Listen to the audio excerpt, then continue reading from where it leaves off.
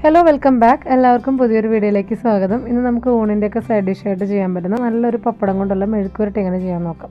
അപ്പോൾ എല്ലാവരും ട്രൈ ചെയ്ത് നോക്കിയിട്ട് ഫീഡ്ബാക്ക്സ് പറയാൻ മറക്കരുത്. പിന്നെ നമ്മുടെ ചാനൽ ഫസ്റ്റ് ടൈം വാച്ച് ചെയ്യുന്നവർ ആരെങ്കിലും ഉണ്ടെങ്കിൽ സബ്സ്ക്രൈബ് ചെയ്യാനും കൂട്ടത്തിലുള്ള ഒരു ബെല്ലൈക്കൺ ഒന്ന് പ്രസ് ചെയ്ത് അതിനകത്ത് ഓൾ സെലക്ട് ചെയ്യാനും കൂടി വിട്ടുപോലെ കേട്ടോ അപ്പോൾ വേഗം നമ്മുടെ റെസിപ്പി എങ്ങനെ നോക്കാം? അപ്പോൾ നമ്മുടെ റെസിപ്പിയിലേക്കായിട്ട് ഞാനിവിടെ ഒരു ചെറിയ പാൻ ഒന്ന് ചൂടാൻ വെച്ചിട്ടുണ്ട്. ഇതിപ്പോൾ അപ്പം ചുടുന്ന ഒരു പാനാണ് കേട്ടോ. നോർമൽ വെള്ളയപ്പത്തിന്റെ പാനാണ് ഇതിനകത്ത് ഓയിൽ ഒഴിച്ചിട്ടാണ് ഞാൻ പപ്പടം ആദ്യം തന്നെ ഫ്രൈ ചെയ്തെടുക്കാൻ പോകുന്നത്. അപ്പോൾ ഇങ്ങനത്തെ ഒരു ചെറിയ പാത്രത്തിൽ യൂസ് ചെയ്യുന്ന സമയത്ത് നമുക്ക് ഒരുപാട് ഓയിൽ ഒഴിക്കേണ്ട ആവശ്യമില്ല. നമുക്ക് ആ ഒരു റീയൂസ് ചെയ്തിട്ട് ഓയിൽ യൂസ് ചെയ്യേണ്ട ഒരു സാഹചര്യം വരണ്ടെന്ന് വെച്ചിട്ടാണ് കേട്ടോ ഇങ്ങനെ ചെയ്യുന്നത്.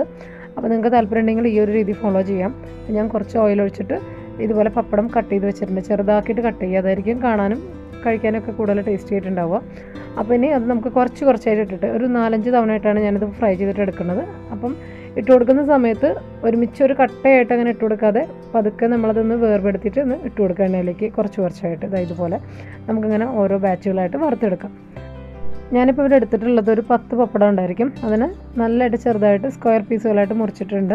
അപ്പോൾ ആ ഒരു രീതിയിൽ തന്നെ കട്ട് ചെയ്ത് നേരത്തെ തന്നെ വെക്കുക. പപ്പടം ആയതുകൊണ്ട് നമുക്ക് പെട്ടെന്ന് തന്നെ ചെയ്തിട്ടെടുത്തില്ലെങ്കിൽ കരിഞ്ഞു പോകാൻ ചാൻസ് ഉണ്ട് കേട്ടോ. അപ്പോൾ മൊത്തത്തിൽ നമുക്ക് ഇതങ്ങോട്ട് വറുത്തെടുക്കാം. കട്ട് ചെയ്ത് വെച്ചിട്ടുള്ള മുഴുവൻ പപ്പടവും ഞാൻ ഇതുപോലെ ഫ്രൈ ചെയ്ത് വെച്ചിട്ടുണ്ട്. ഇത് നമുക്ക് ഇനി ഒരു സൈഡിലേക്ക് മാറ്റി വയ്ക്കാം ഇനി നമുക്ക് മെഴുക്ക് വരട്ടി ചെയ്യാൻ തുടങ്ങാം. അതിനായിട്ട് കുറച്ചുകൂടി വലിയൊരു പാത്രം എടുത്തിട്ടുണ്ട് ഒരു കടായി. അതിലേക്ക് ഞാൻ ഒരു നാല് ടേബിൾ സ്പൂൺ ഓയിൽ നമ്മൾ പപ്പടം ഫ്രൈ ചെയ്തിട്ടുള്ള എണ്ണയിൽ തന്നെ എടുത്തിട്ട് ഒഴിച്ചിട്ടുണ്ട്. വലിയ പാത്രം ആകുമ്പോഴാണ് നമുക്ക് മിക്സിംഗ് ഒക്കെ എളുപ്പമാവുള്ളൂ കേട്ടോ അതുകൊണ്ട് എടുത്തുന്നേ ഉള്ളൂ. അപ്പോൾ കുറച്ച് കറിവേപ്പില ആദ്യം തന്നെ ഒന്ന് സോട്ട് ചെയ്തിട്ട് അത് കോരി വയ്ക്കാം നമുക്ക് ലാസ്റ്റ് ആ ഒരു ഫോട്ടോക്കൊക്കെ വേണ്ടിയിട്ട് ഒന്ന് ഗാർണിഷ് ചെയ്യാൻ വേണ്ടി ഞാൻ വെച്ചു എന്നേ ഉള്ളൂ കേട്ടോ അത്. ഇനി നമ്മൾ സെയിം പാനിലോട്ട് തന്നെ കുറച്ച് കറിവേപ്പില കട്ട് ചെയ്ത് ഇട്ട് കൊടുക്കുന്നുണ്ട്. അതിന്റെ കൂട്ടത്തിൽ കൂടെ തന്നെ ഒരു പന്ത്രണ്ട് ചെറിയ ഉള്ളി ചെറുതായിട്ട് മുറിച്ചിട്ട് ഇട്ട് കൊടുക്കുന്നുണ്ട് കേട്ടോ.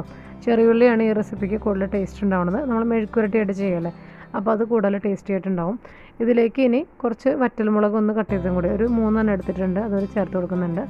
അതോടെ ചേർത്തിട്ട് ആവശ്യത്തിന് കുറച്ച് ഇതിലേക്ക് ഉപ്പ് ചേർക്കാൻ പ്രത്യേകം ശ്രദ്ധിക്കണം. പപ്പടത്തിൽ ഉപ്പുള്ളതുകൊണ്ട് തന്നെ ഉള്ളിയിലേക്ക് കണക്കാക്കിയിട്ടുള്ള കുറച്ച് ഉപ്പ് മാത്രം ഇട്ടാൽ മതിയാവും. എന്നിട്ട് ഇത് നന്നായിട്ട് സോട്ട് ചെയ്യാം. ലോ ടു മീഡിയം ഫ്ലെയിമിലിട്ടിട്ട് നല്ലപോലെ ഉള്ളിലെ വാട്ടർ കണ്ടന്റ് പോകണം.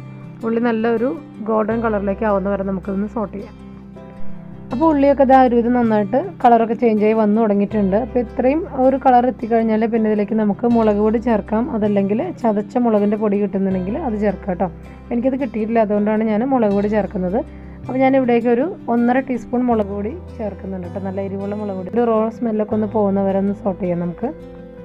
നമ്മൾ ചേർത്തിട്ടുള്ള മുളക് പൊടിയൊക്കെ നന്നായിട്ട് കുക്കായിട്ട് നല്ല സ്മെല്ലൊക്കെ വരുന്നുണ്ട് കേട്ടോ. അപ്പോൾ ഈ ഒരു സമയത്ത് പപ്പടം നമ്മൾ ഫ്രൈ ചെയ്തിട്ടുള്ളത് കുറച്ച് കുറച്ചായിട്ട് ഒരു നാലഞ്ച് തവണകളായിട്ട് ചേർത്തിട്ട് ഒന്ന് മിക്സ് ചെയ്തിട്ട് എടുക്കാം. അത്രേ ഉള്ളൂ. പിന്നെ ഇത് മിക്സ് ചെയ്യുന്ന സമയത്ത് പപ്പടം പൊട്ടിപ്പോവാതെ പൊടിഞ്ഞു പോവാതെ ഒക്കെ ഒന്ന് ശ്രദ്ധിക്കുകയാണെങ്കിൽ കാണുമ്പോഴും നല്ലൊരു ഭംഗി ഉണ്ടാവും ഇത് സെർവ് ചെയ്യുന്ന സമയത്തൊക്കെ. അപ്പോൾ അതിനായിട്ടുള്ളൊരു ടിപ്പ് എന്താണെന്നുണ്ടെങ്കിൽ നമ്മൾ യൂസ് ചെയ്യുന്ന കടായുടെ ഒരു ലെഫ്റ്റ് സൈഡ് ഉണ്ടല്ലോ അതൊന്ന് പതുക്കെ പൊക്കി പിടിച്ചിട്ട് നമ്മൾ റൈറ്റ് ഹാൻഡോട് നന്നായിട്ട് അടിവശത്തു നിന്ന് മിക്സ് ചെയ്ത് കൊടുക്കുക.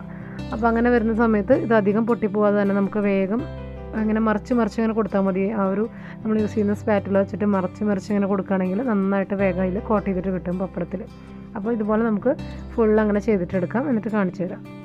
ഇപ്പം ഞാൻ മൊത്തത്തിൽ ചെയ്തിട്ടെടുത്തിട്ടുണ്ട്. ഇനി നമുക്കിതൊരു സെർവിങ് പ്ലേറ്റിലേക്ക് മാറ്റാം കേട്ടോ അപ്പോൾ ഇത്രയേ ഉള്ളൂ നമ്മളുടെ സിമ്പിളായിട്ടുള്ള പപ്പടം മെഴുക്ക് വരട്ടി എല്ലാവരും ട്രൈ ചെയ്ത് നോക്കുക. നല്ല ടേസ്റ്റി ആയിട്ടുള്ള എളുപ്പമായിട്ടുള്ള ഒരു റെസിപ്പിയാണ് തൈര് സാദത്തിന്റെ ഒക്കെ ഉഗ്രം കോമ്പിനേഷനാണ് കേട്ടോ. അതുപോലെയുള്ള ആ ഒരു കേട് ചേർന്ന് വരുന്നിട്ടുള്ള റെസിപ്പീസിനൊക്കെ നല്ല ടേസ്റ്റിയാണ് എന്തിനും നല്ല കോമ്പിനേഷനാണ് ഈവൻ കഞ്ഞിക്കാണെങ്കിൽ പോലും ഭയങ്കര ടേസ്റ്റി ആയിട്ടുള്ള കാര്യം തന്നെയാണ്. ട്രൈ ചെയ്ത് നോക്കിയിട്ട് എന്തായാലും ഫീഡ്ബാക്ക്സ് പറയാൻ മറന്നുപോലെ അപ്പോൾ അടുത്തൊരു നല്ല വീഡിയോ കൂടെ നമുക്ക് വീണ്ടും കാണാം.